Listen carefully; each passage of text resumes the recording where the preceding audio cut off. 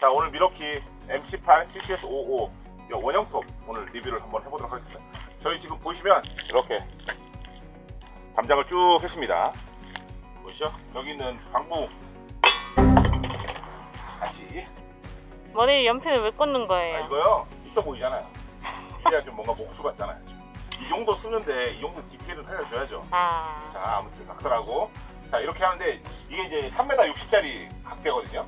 이거를 일일이 다 오일스텐을 칠해서 저희가 이걸로 하나하나 잘라서 그 전에 진행을 했습니다. 그 전에 이제 저희가 한 절반 정도 진행됐을 때까지는 유선으로 진행을 했거든요 그러다 보니까 자르다 보면 이 선이 이렇게 당겨있자 이렇게 하다 보면 지금은 양이 얼마 안 됩니다 원래 이만큼씩 잘랐거든요 한 번에 한 2,000원이니까 많이 했단 말이에요 그러니까 이렇게 하다 보면 선이 이렇게 당겨져요 줄 짧으니까 그럼 어떻게 돼 이게 이렇게 가요 나도 모르게 팔을 뻗다 보면 네.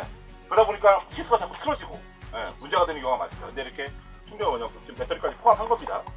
이렇게 들고 할 수 있으니까 정말 너무 편합니다. 그리고 그전에도 말씀드렸던 것처럼 이게 보통 원형톱 같은 거 하실 때 사고가 어디서 생기냐면 이런 레버를 당기기만 해도 이게 돌아가요.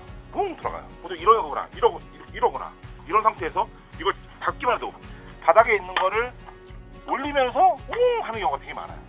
한번 써보신 분들은 아실 겁니다. 이런 안전사고가 굉장히 많아요. 근데 요 같은 경우에는 보시면 알겠지만 요 안전레바를 보이시죠? 안전레바. 안전레바를 한번 누르고 손을 잡아준 다음에 뛰셔도 돼요. 그죠? 그 다음에 안전레바를 뛰셔도 됩니다. 근데 안전레바를 반드시 한번 누르고 요걸 눌러야지만 작동이 됩니다. 그리고 왼손 오른손 다 있습니다. 왼손잡이 분들도 정말 편하게 사용할 수 있습니다. 왼손잡이 분들도 레바를 누르고 다 계십니다. 그리고 노음과 동시에 멈춘다는 거 이게 진짜 안전한 겁니다 그 전에 저희가 제품 리뷰할 때도 말씀드렸지만 이게 마그네슘 합금 말이기 때문에 굉장히 가볍습니다 미러키 같은 경우에는 요 앞에 가이드 눈금 보이시죠 눈금 보이시죠 눈금 요게 굉장히 선명합니다. 다른 타사 제품들 같은 경우에는 여기 다 흐려요. 뭐안 보여. 이거 별것도 아닌데 이런 디테일을 좀 신경을 못 쓰는 경우가 많습니다. 제가 그때 리- 제품 리뷰할 때 요거 말씀드렸죠? 거는 거. 말씀드렸죠? 이런 디테일들. 실제로 현장에서 많이 사용해 보신 분들이 이런 아이디어를 많이 내거든요. 그래서 밀워키 제품 같은 경우에는 확실히 공구를 아는 사람, 실전에서 많이 써본 사람 이런 사람들이 아이디어를 많이 냈고 제품에 참여했다 라는 게 여기서 느껴질 수 있습니다. 자 보시죠.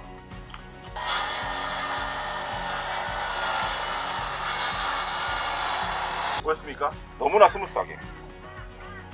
그리고 지금 보시면 이렇게 영도라고 되어 있는 부분 있죠? 요게 이제 날이 돌아가는 쪽의 가이드입니다. 그래서 기준선을 잡아놓고 요 안쪽 홈 쪽으로 이렇게 통과하시면 정확하게 잘립니다. 제가 이 많은 작업 중에서 왜 오늘 이렇게 이 리뷰 영상을 찍냐 딱 보여드리겠습니다.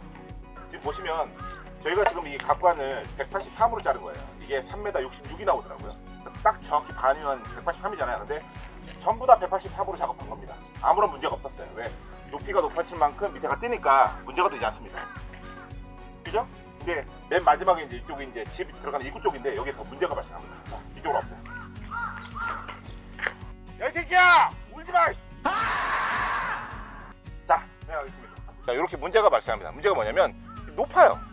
다른 거하고 다 똑같이 잘랐는데 이 대문은 저희가 대문 사이즈에 맞추다 보니까 이 각관이 남습니다. 1m 84. 근데 문제는 뭐냐면 이게 또 다 똑같으면 상관없습니다. 왜? 짧게 자르면 되니까. 자, 이쪽으로 와보세요. 여기 보시죠. 여긴 또 짧아요. 그죠? 근데 상관없습니다. 왜? 저는 여기를 높, 이를 맞춰서 할 거예요. 밑에가 뜨면 돼요. 상관없어요.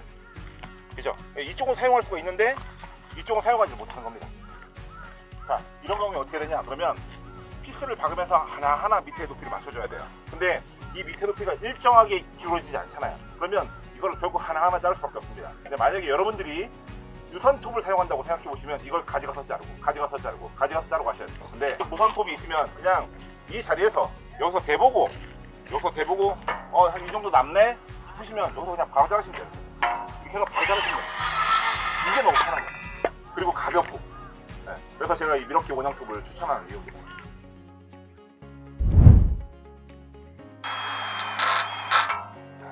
우와, 장난 아니죠? 엄청나게 편합니다. 엄청나게 빨라요. 여기서 주의해서 보셔야 될 게 다른 게 아니에요. 자 보세요 소리가 너무 조용하니까 여러분들 잊고 계세요 이거 임팩트 드릴입니다 자 다시 한번 들어보세요 임팩트 소리 들으신 분 보통 이런 아연각 꺼내 박을 때 다다다다다다다다다 하면서 들어갑니다 그죠?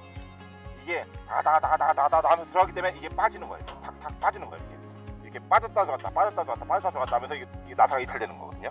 뒤에서 때리기 때문에. 때리는 충격 때문에 턱턱턱 하다 보니까 이 나사 선도 마모되고 그러는 거예요. 근데 제가 이거 말씀드렸죠? 오일 펄스 방식이라고. 임팩트 할 때 손에 무리가 또 안 가고 진동도 거의 안 켜집니다. 네, 정말 조용합니다.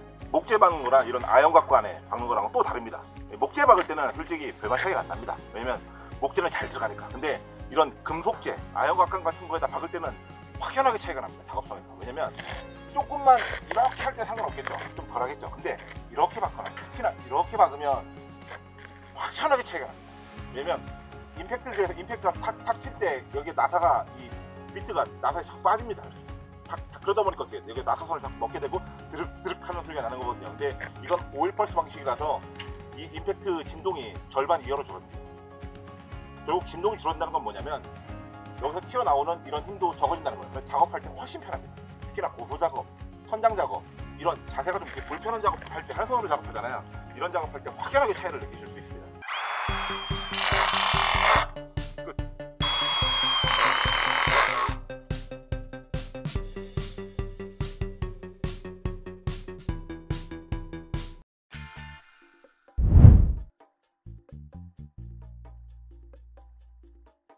여기가 이제 저희 창고입니다.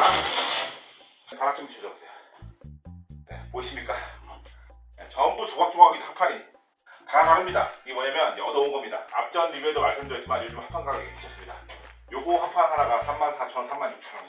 12T짜리. 근데 여기다 합판만 깔면 합판값만 뭐 50만원 이렇게 달라고 합니다. 이렇게 말이 안 되잖아요. 그래서 다른 분들 쓰시던 거를 밑에는 안 보이잖아요.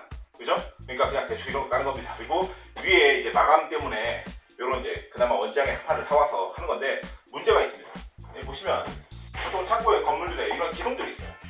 좌면에. 그죠? 근데 문제가 뭐냐? 좀 깔끔하게 깔고 싶은데 보이십니까? 여기 이만큼 뜨죠? 여기도 여기도 맞아야 되는데 여기도 안 맞고 이쪽을 맞추면 여기가 뜨고 여기를 맞추면 여기가 뜹니다. 그래서 이런 부분을 좀 맞춰야 되는데 그만 이만큼 따라야 됩니다. 이것 때문에 이거 따르려고 또 릴선 꺼내고 쭉 끌고 와갖고 또 꽂고 이렇게 하기가 굉장히 번거롭습니다. 이게 창고를 새로 짓는 거기 때문에 여기 근처에 전기도 없습니다.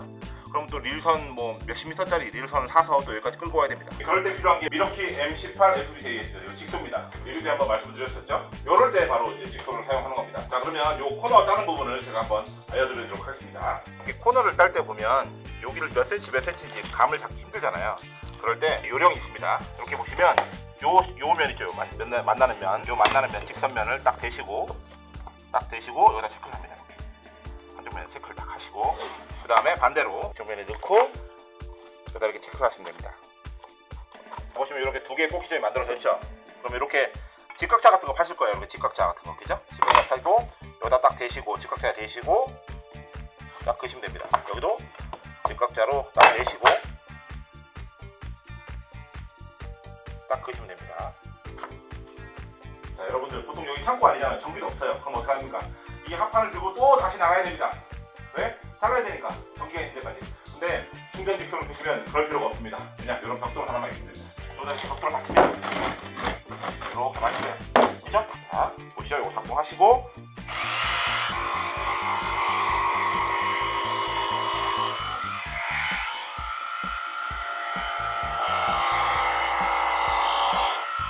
끝! 간단하죠? 자, 어떻습니까? 아, 기가 막히게 잘 맞죠? 딱 맞네요. 네. 이렇게 마감을 하시면 됩니다. 자, 여기 미러키 FBJS 하나 특장점이 뭐냐면 아까 얘기하신 것처럼 이렇게 올려놓으면 이게 지금 제가 들고 있어서 그렇지 이렇게 바닥에 내려놓고 여기 여기도 손잡이거든요. 이걸 잡고 이렇게 하고 해주셔도 됩니다. 이렇게 이렇게 여기 너무 편합니다. 저희가 지금 직선만 자른 걸 보여드렸지만 원형을 작업하시다든가 아니면 이렇게 굴곡진 부분들 있죠? 굴곡진 부분들 연필 가지고 이렇게 그리시는 거 아실 거예요. 그리셔갖고 이걸 그대로 너 바닥에 잡을 이렇게 잡을 잡고 힘을 줄 필요도 없습니다. 내려놓고 뒤만 살짝 보여주면 됩니다. 이렇게 이렇게 그러면 자연스럽게 모양이 한번 그려집니다. 그래서 이 제품 그 곡선들 한번 하는 것들 한번 테스트 한번 해보도록 하겠습니다. 이렇게 곡선 있는 부분들 어떻게 따는지 한번 볼게요. 제가 지금 그리고 사용하고 있는 방식이 A입니다. A. 그게 오토거든요. 보시면 1단부터 6단까지 속도 조절이 되지만 여러분들은 거의 A로 쓰시면 됩니다. 자, 이 차이점을 한번 느껴보세요. 어떤 차이점이냐면 처음에는 얘가 천천히 왕복 운동을 합니다. 근데 닫고서 모재에 딱 닫고 썰리기 시작하는 순간 RPM이 확 올라가 떨어집니다. 그 차이를 여러분 한번 느껴보세요. 소리로 차이를 알수 있습니다. 자, 시작합니다.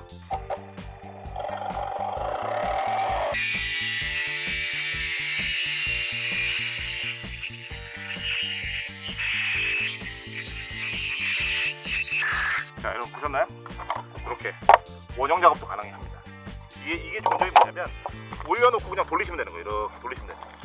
그래서 기본 틀만 잘 만들어 놓으시면 어떠한 모양도 짤 수 있습니다. 이게 다른 직소에서는 볼 수 없는 정말 가장 큰 장점입니다.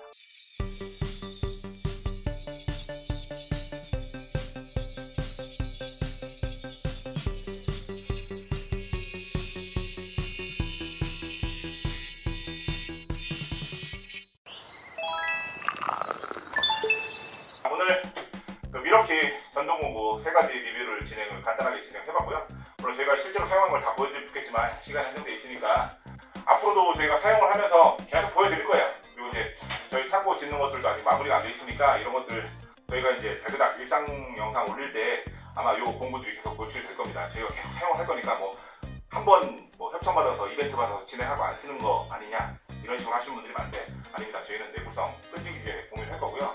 앞서서 말씀드렸지만 이번 리뷰는 저희가 먼저 이렇게 요청을 해서 진행이 된 겁니다. 그래서 저희가 진짜로 이 제품을 써보고 좋아서 요청한 거기 때문에 여러분들한테도 이 제품들의 특장점을 앞으로도 계속해서 리뷰를 해드리도록 하겠습니다. 그리고 오늘 영상에서 보셨겠지만 요 임팩트 드라이버, 그 다음에 직소, 원형톱 요세 가지 정도는 갖춰 놓으시면 웬만한 건안 됩니다. 보통 시골에서 많이 쓰는 게 담장, 울타리, 그다음에 데크 아니면 뭐 농막, 창고 이런 거 지으실 때 보통 많이 쓰시잖아요. 그러면 요 세 가지 정도면 거의 다 가능합니다. 아 무슨 뭐 각관 같은 거 이런 것들은 좀 작은 거 따로 있어야 되지 않겠냐 하지만 이런 각관들은 보통 치수 정도만 잘 재놓으시면 그 배달하는 업체에서 다 자를 수 있습니다. 또는 잘라서 배달이 돼요. 그러니까 현장에서 직접 할 수 있는 것들은 요 세 가지면 여러분들이 쓰시는 데는 아무 문제 없습니다. 그리고 요 세 가지는 항상 기본으로 갖춰놔라 제가 그렇게 말씀을 드리고 싶습니다. 그리고 앞으로도 미역에서 이제 더 좋은 제품들이나 신제품이라든가 다른 제품들이 출시되면 저희가 리뷰할 수 있는 기회를 가졌으면 좋겠습니다. 희망사항입니다. 보고 계셔도 대표님. 네. 자, 달각TV였습니다. 감사합니다.